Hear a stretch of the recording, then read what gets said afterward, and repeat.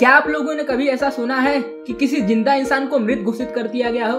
अगर आप लोगों ने ऐसा नहीं सुना है तो आज के इस वीडियो के माध्यम से मैं आप लोगों को एक ऐसे शख्स के बारे में बताना चाहूँगा, जिसके साथ यह घटना घट चुकी है। मेरी यह बात सुनकर आप लोगों को मज़ाक लग रहा होगा, लेकिन यह एक सच्ची घटना है। यह घटना जिस इंसान के साथ घटी है, उसे मैं ज़िंदा हूँ यह साबित करने में करीबन 19 साल का वक्त लग गया। तो चलिए हम जानते हैं कि यह घटना किस इंसान के साथ घटी और उस इंसान को मैं ज़िंदा हूँ यह साबित करने में किन किन समस्याओं का सामना करना पड़ा। मैं जिस इंसान की बात कर रहा हूँ, उसका नाम लाल बिहारी मृतक है, जो उत्तर प्रदेश के आजमगढ़ ज़िले के अमीलो गाँव के निवासी है। पेशे से तो यह एक किसान थे, लेकिन इनकी मजबूरियों ने इन्हें राजनीति तक का सफ़र तय करवा दिया। इनका परिवार काफ़ी छोटा है, जिसमें इनकी पत्नी और इनका बेटा रहते हैं। मुझे ऐसा लगता है कि आप लोगों को अब तक इनके बारे में काफ़ी जानकारी मिल चुकी होगी। लेकिन अब हम जानते हैं कि ऐसी क्या वजह थी जिसके कारण इन्हें मृत घोषित किया गया। मैं शुरुआत करना चाहूँगा उस दौर से जब वह अपना बिज़नेस शुरू करने के लिए बैंक से लोन लेने गए। बैंक में जाने के बाद जब वह लोन लेने की प्रक्रिया पूरी कर रहे थे, तब उनसे वहाँ पर पहली बार पहचान के लिए जन्म प्रमाण पत्र मांगा गया। लेकिन उनके पास प्रमाण पत्र न होने के कारण वह तहसील में गए और वहाँ पर जाने के बाद उन्होंने लेखपाल से प्रमाण पत्र बनवाने के लिए कहा। तो उस लेखपाल ने उन्हें प्रमाण पत्र में मृत घोषित कर दिया। उस लेखपाल ने ऐसा इसलिए किया क्योंकि लाल बिहारी के चाचा ने उसे रिश्वत दिया था।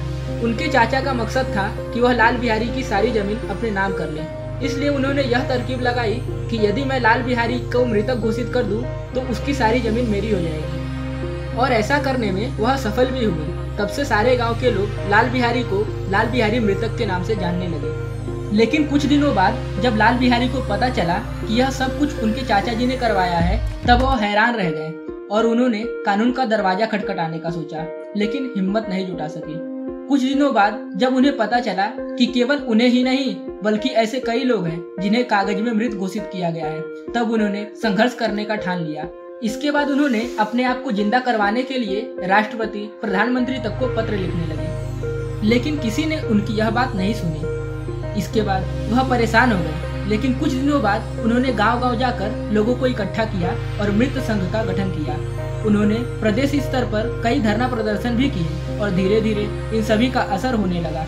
इसके बाद विधानसभा में जगदम्बिका पाल ने उनके इस मामले को उठाया और उसी समय लाल बिहारी ने 9 सितंबर को विधानसभा में मृतक की समस्या से जुड़ी पर्ची भी फेंकी और उसके इन काम के लिए उन्हें मारा पीटा भी गया और गिरफ़्तार भी कर लिया गया। लेकिन कुछ दिनों बाद उन्नीस सौ चौरानवे में तत्कालीन डीएम हौसला प्रसाद ने कई प्रयत्नों के बाद उन्हें दस्तावेज़ में ज़िंदा घोषित कर दिया। दोस्तों, लाल बिहारी के जीवन से हमें यह सीखना चाहिए कि हमारे जीवन में पेपर वर्क का कितना महत्व है, चाहे वह किसी भी चीज़ का हो। दोस्तों, उनके इसी कहानी को मद्देनजर रखते हुए सतीश कौशिक जी ने उनके ऊपर एक फ़िल्म बनाई है, जिसका मुख्य किरदार पंकज त्रिपाठी जी ने निभाया है।